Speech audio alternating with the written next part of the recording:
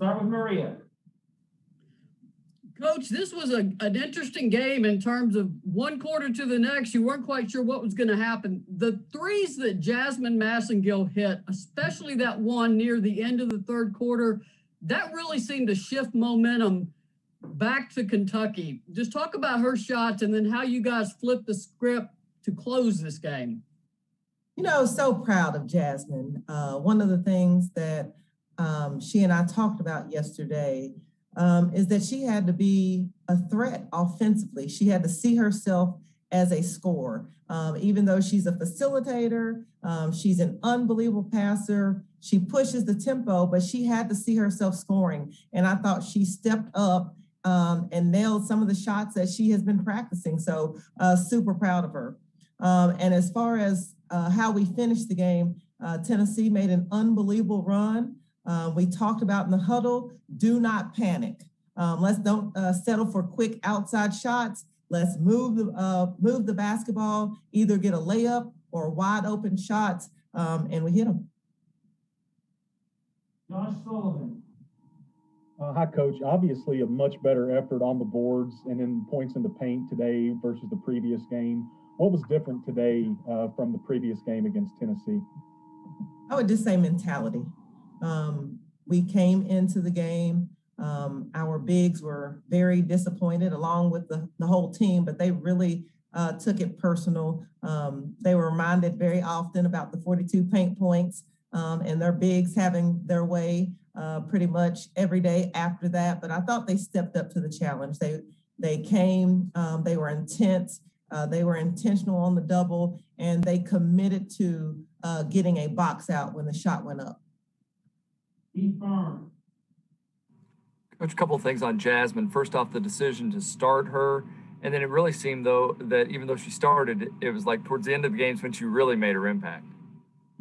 Yeah, um, I made a decision to start uh, Jazmine. We have several players on this team um, that could start. So that's one of the things that we talk about. Um, it's bigger than anyone. And I have to make decisions for the whole and uh, decided to start Jazz um, to get us settled in offensively. She understands what I'm looking for, but also a big key to that is trying to get Chasity to play more free. Um, one thing that she can undeniably do is put the ball in the basket. Um, but when the ball is in her hands for 40 minutes and she's having to think, it's it slows her um, from scoring. Um, and tonight with Jazmine on the floor, it freed her up and uh, Chasity put 21 points on the board.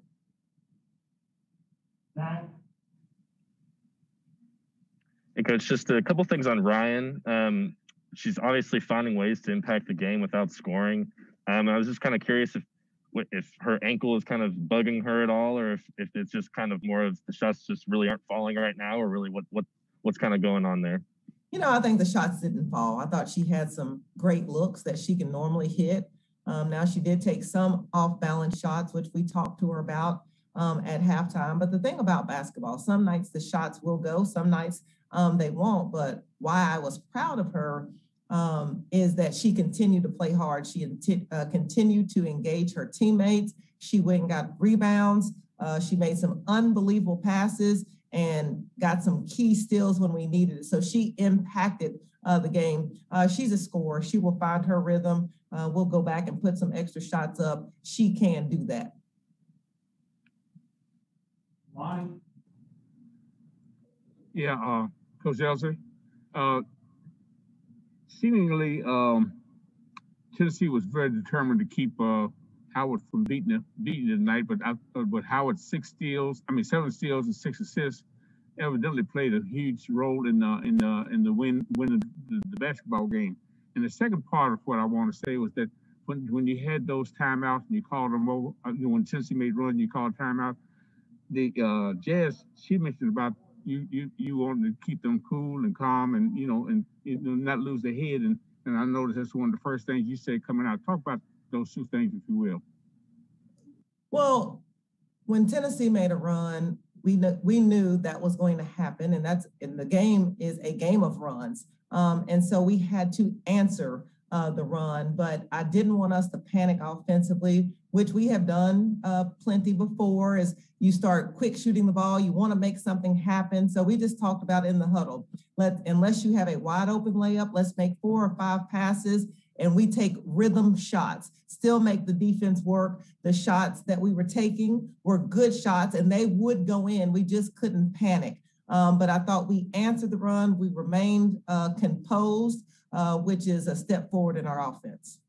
Robert O'Connell.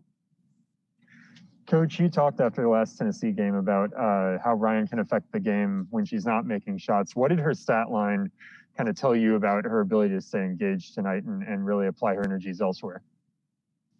That she learned from the experience.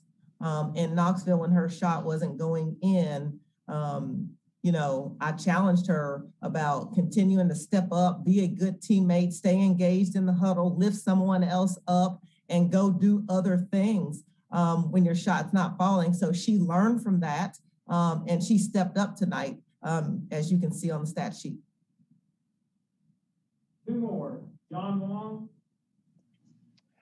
Hey, Kyra, as a coach, this win has to be intensely satisfying for you. I mean, a lot of the things that you were focusing on, the defense in the paint, the weak side help, the on-ball defense, the team came through on that. Uh, how, how does that make you feel and how much confidence does that inspire in you as the team moves forward? You know, all credit to the players. Um, they stepped up to the challenge.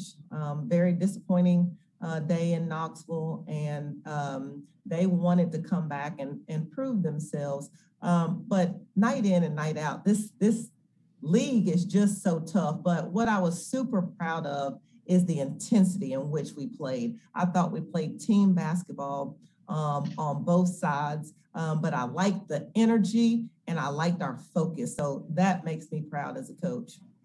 Just a quick comment on the zone defense. It kind of uh, changed changed the tenor of the game there a little bit. You know, it's one thing uh, that the staff and I uh, talked about. Uh, we kind of laughed.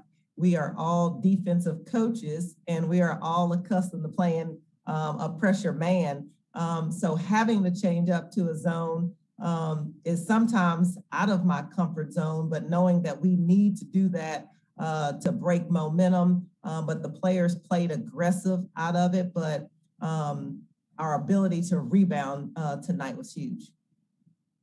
Bring us home, Maria. Coach, obviously Tennessee has been disrupted twice now by, by COVID. Fortunately, they were able to get in both games with Kentucky, Kentucky, and I think the SEC has loaded them up. Now they get Texas A&M, Mississippi State, and South Carolina.